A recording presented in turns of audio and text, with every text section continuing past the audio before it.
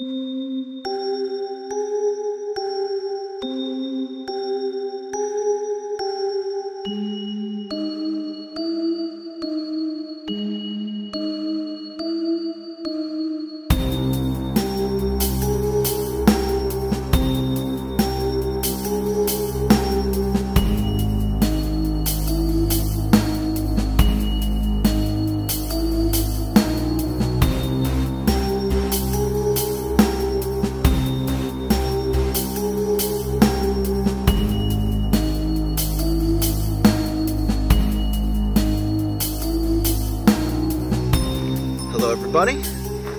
Welcome to Outdoor Adventures. I'm Frozen, and uh, it is July 31st. And it's July 31st on a full moon. And not just any full moon, it's actually known as a blue moon. A blue moon doesn't have anything to do with the color of the moon like a blood moon does. Um, a blue moon just has to deal with the fact that there is basically two full moons in one given month. So we had a full moon at the beginning of July, and now we have another full moon on this day, July 31st. So, thought it'd be kind of fun to go out on a something different. I'm gonna do a just a six mile night hike. Haven't done a night hike in forever. I'm up here at Raccoon Creek State Park, and tonight's gonna be a lot of fun. This, guys, is the ThruNite TN12 a vendor just sent me this and we're to put it through its rounds tonight i guarantee it. This uh, flashlight has four modes and it goes up to 1050 lumens. That's really bright. To give you guys an idea of how bright that is that's how bright that is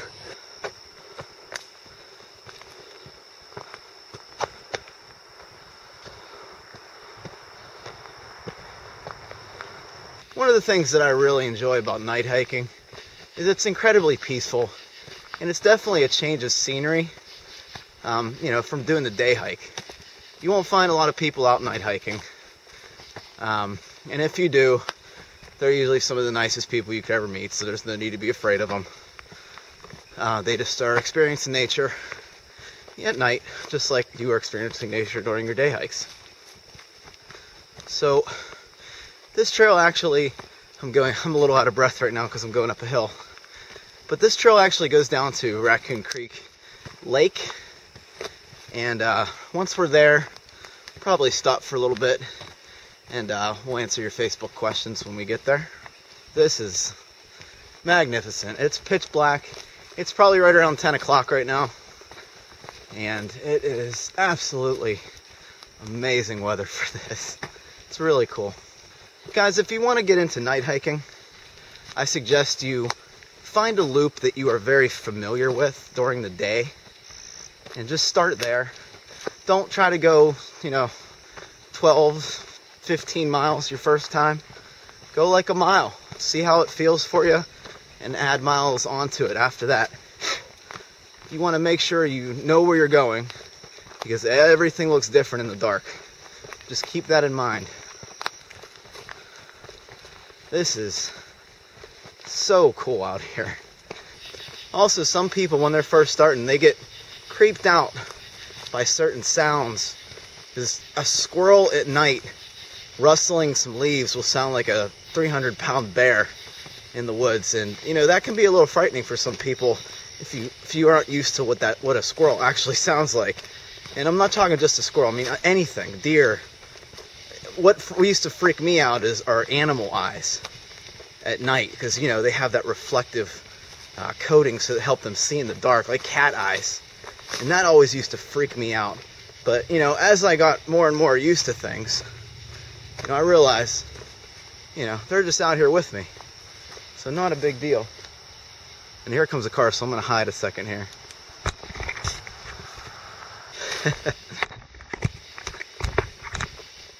Oh, that was pretty funny. Uh, actually, the car that pulled up, it was uh, I thought it was a cop at first, but it was actually a park ranger, and uh, they were just making sure I was okay and not lost or anything. So they actually care around here at Raccoon, so I gotta gotta give them props for that. So anyway, guys, like I was saying, um, animal eyes used to freak me out because of their reflective coating on their eyes, And, you know, once I got past that, once I realized, you know, they're out here during the day, they're out here at night, and there's nothing to be scared of, you know. Everything you see during the daytime, they're out at night too. You know, they're just here with you.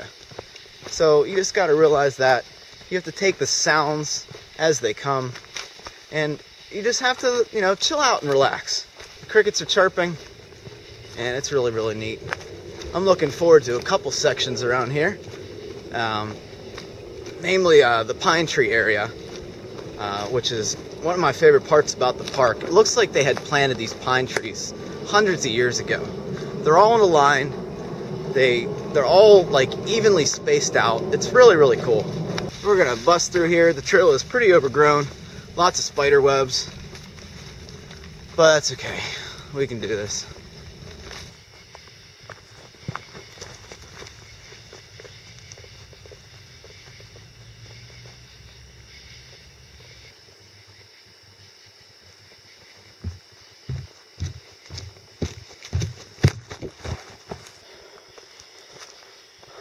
Heritage Trail. Keep going.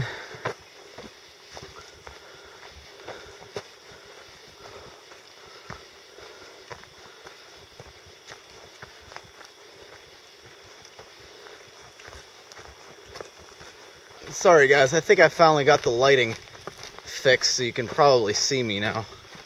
Um, I just checked the footage and it was not good as far as um, you being able to actually see me and where I'm going here. So hopefully it's a little better for you guys. I do apologize. Um, I've only filmed one other night hike, so the lighting techniques are all new to me here. Um, so, this flashlight is working out fantastic. Um, I completely turned the headlamp off, and I, I kind of wish that my headlamp was in the 900 lumen range. Forget what it is, but the batteries are fresh, and it's just not even coming close to the output of this light. Um, the only thing I'm downside I'm noticing about this light so far is I've had it on the entire time. We've probably been hiking for 20, 30 minutes now. And um, it's just getting a little bit hot on the second to the highest setting. So, is that a bad thing? No. But uh, at the highest setting, I think it would get really, really freaking hot. Anyway, guys, I'd like to share something scary that happened on our Cranberry Lake 50 trip. We were camping the first night along that stream, and he woke me up saying he heard animal noises walking back and forth between our two shelters. He was in a tent and I was in a hammock.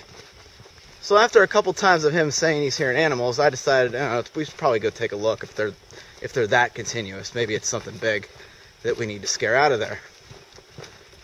So we get up and we notice that there is a campfire or something, some kind of bright light up on the top of the hill that we're see we're camped in a valley and it's up uh, this campsite or whatever this is campfire is on top of the hill so we're like huh so we get in closer to see to investigate, we realize it's not a campfire at all. It's a bright white light. We're not sure what the heck it possibly is. So we go head back to the trail, which is not even 20 feet away, okay? And we look up at this thing and we shine a flashlight trying to get a better look at it. In fact, we shine this we shine this flashlight up the trail.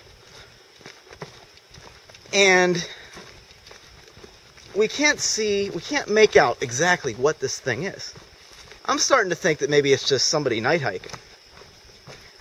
And then we turn the lights off. And here this thing, whatever it is, starts moving back and forth like it's kind of walking like this. And I started to get a little creeped out. Still isn't still am not sure what this thing is.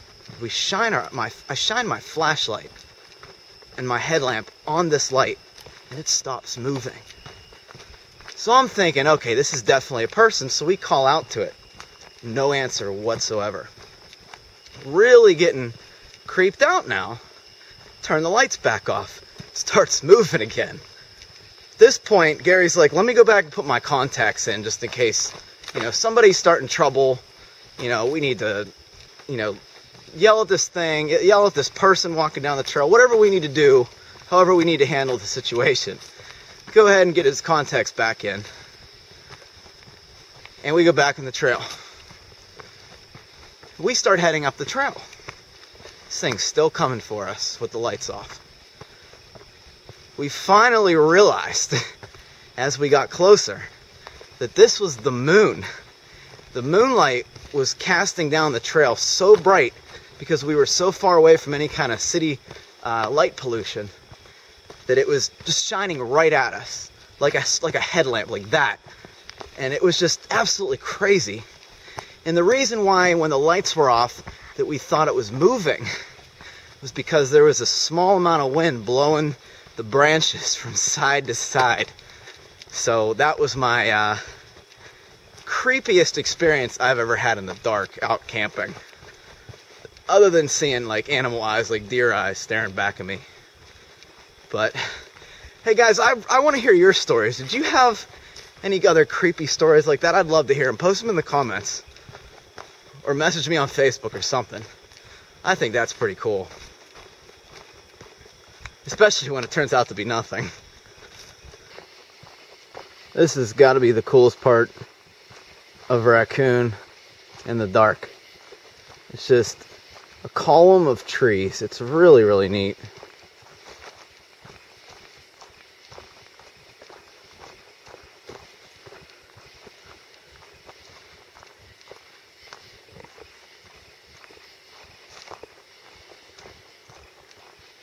Alright, so we've been on the trail for about an hour now. Um, I expect this to probably take me about two and a half hours to hike the six miles. So like I said, in the dark everything takes just a little bit longer. I think we are at the junction for the ski trail and the heritage trail where we go down. Should be a little bench up here. And we'll go down to the lake. And pretty soon we'll be back at the road near the lake. It's gonna be really neat hopefully we can actually see the full moon just kind of enclosed in all these trees right now.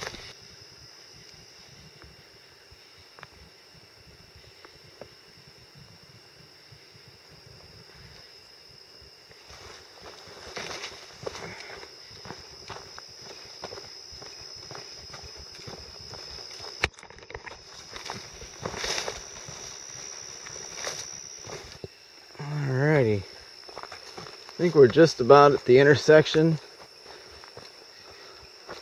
Let's see. Boat trailer parking. I forget which way it is now. Let's look at the map real quick. We started here at the parking lot, came down here, went on Heritage, and yeah, okay, so we take the boat trailer parking. All right, good stuff. Alrighty, so this trail should take us up to the lake, and then I will answer your Facebook questions. Which, guys, I really enjoy hearing from you guys. I, I love the interaction that we're having. I love helping you guys out where I can. You guys help me out all the time. Just interacting with you guys has been a pleasure since this channel started. Alright. Should be it. Alright, C7. Okay. Now I just gotta figure out what the road is it's down here.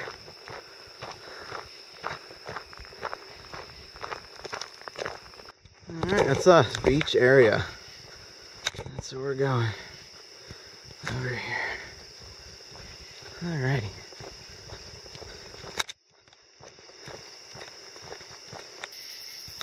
Ah, the full moon looks awesome. Just peeking out between the clouds. You can hear the bullfrogs in the lake too.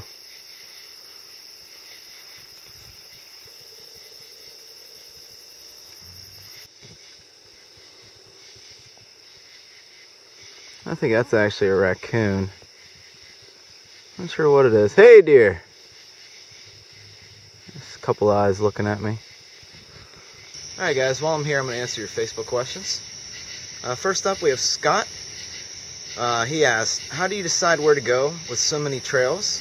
Uh, do I pick trails that will test your endurance or for the sceneries? For the most part, I'm just out there to get away from everybody, get away from life for a little bit, just kind of relax, do my own thing in the wilderness. So I don't really worry about the mileage. Um, sceneries are always a plus. They're not necessary for me, but I will definitely take some amazing vistas and uh, amazing views in my trip. So, um, also Reddit has a uh, great hiking community. Uh, it's a, like an online forum, and I usually get a lot of my ideas through that. So, hope that answers your question, Scott. Uh, next up, we have Ellie. I uh, hope I'm pronouncing that right. I apologize if I'm not. Uh, the question is, does your girlfriend go hiking with you? And if so, does she enjoy it? Um, she goes. We go day hiking every once in a while. As far as as far as uh, the weekend backpacking, she's not really into that, and that's fine. That's kind of my thing. We kind of keep that thing separate, which is totally fine with me. Uh, we do go on day hikes. We go, you know, locally to Raccoon or North Park or you know some somewhere around there. Uh, some you know somewhere locally. You know, we both enjoy the outdoors to an extent. Every once in a while, she'll go on one of my trips with me, just like an overnighter, and that'll be good enough for me. So we're actually going to be planning uh, probably the Dolly Sods. I'm thinking. Uh, I want to take her there because it was so beautiful last time I went. I just want to go back and do a quick overnight there. Uh, ben asked, have I considered coming out west, say uh, Idaho or Montana, if the timing was right? Ben, I would love to do that. I'm not sure if the timing will ever be right for that, uh, but I do plan to go out west within the next two years. I'm going to try to shoot for two years. I'm going to try to tackle the John Muir Trail, uh, the JMT. Uh, it's a part of the Pacific Crest Trail. Uh, if you're not familiar with it, look up the Journey of Light. It's an amazing documentary on YouTube, and I cannot wait to do that. It should be absolutely wonderful. Um, Debbie asked, she has two questions actually. One is, what camera do I use? And she noticed how I quickly switched from myself to the trail back to myself. Um, the camera is a Nikon AW110. Uh, it's just a standard point and shoot camera, and it does uh, you know 1080p video, uh, you know still images, and it's shock-proof, waterproof, and freeze-proof. So that's my go-to camera. Uh, this camera's been awesome. I'm probably looking to upgrade next year to something that does maybe time lapse or something. But for the past year and a half now, this camera's been absolutely amazing on all my trips. It's, it's gotten the crap beat out of it. I've dropped it. It's been in the rain. It's been weathered, and it's just holding up like crazy. It's very nice. Uh, and the second question is, do you clean your water bladder while you're out hiking, and or how do I maintain it during my hikes? Uh, as far as the water bladder goes, um, it's always filtered water, so the water always comes from the Sawyer mini filter, uh, which that takes care of probably 99% of the issues that you'll have with water bladders getting all slimy and gross. Um, I don't clean it out while I'm on the trail, um, but when I get home, if it's really bad, if it's really bad, I'll get a tablespoon of bleach and toss it into the water bladder, shake it around, and then you know, force the water through the bite valve, you know, just kind of via gravity.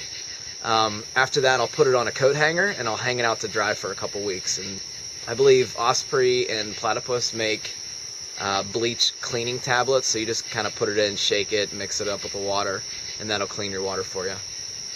So, guys, I hope that answers your questions, and uh, I thank you so much for the interaction. Uh, this is one thing that I really, really enjoy is interacting with the Facebook people and helping where I can you guys are always willing to jump on me and help me, and I really appreciate the guy, that guys. So we are gonna head out from the lake, and we are gonna go find the beach trail, whatever that may be. So I need to get out the map and take a look. But let's get back to it.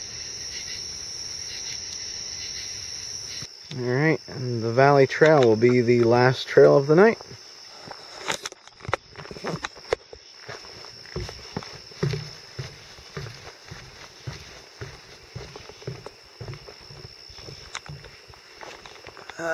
See. There's beach. It's probably valley. Oh, that's a steep one. Wow.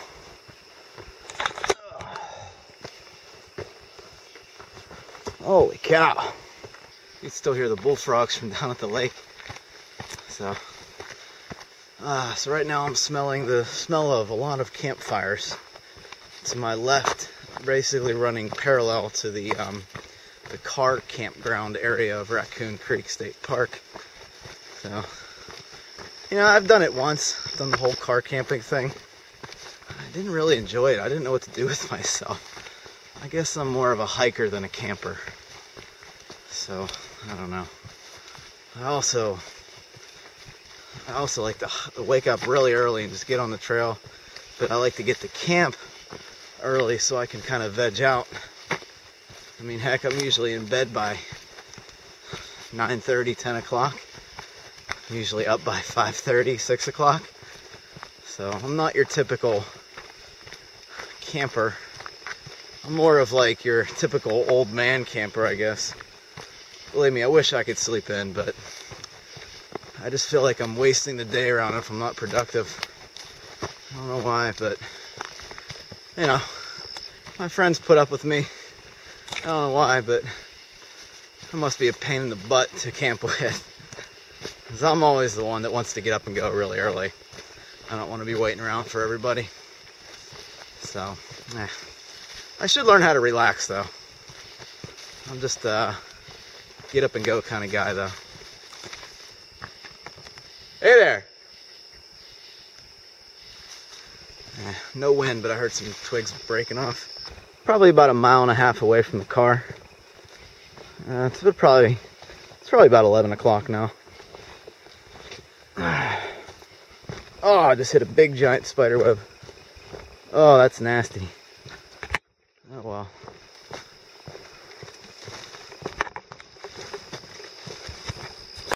Alright, and we are basically out. Just gotta walk this road down to the car. Um, the flashlight, the TN12. Awesome. this is the first item I've received from a vendor that I can honestly say that there's no issues with. There's no need for a version 2. This is really, really nice, and I will definitely be keeping this thing around for everyday use. I even may put it as my uh, standard night hiking equipment because this thing was awesome. We're still on the same battery from two and a half hours ago, I think. It's almost midnight right now, and we started at 9:30. So they claimed that this only lasted about an hour and a half, and uh, you know, at almost the second brightest setting. But hey, it's it's going strong as you can see. So this is really neat. I'm gonna turn the light off because I'm getting to the road. I don't want to confuse other drivers. So guys, I want to thank you so much for joining me tonight on the Blue Moon, July 31st, 2015. This was an excellent trip for me. Excellent test of the flashlight. Be looking for the review in the next couple days. It's always a pleasure filming this stuff for you guys, as you all know. If you have any questions about the trail, be sure to ask. If you have any questions about the gear, be sure to ask. Comment below or find me on Facebook via Outdoor Adventures. Thanks, guys. Have fun out there, and I'll see you on the trail.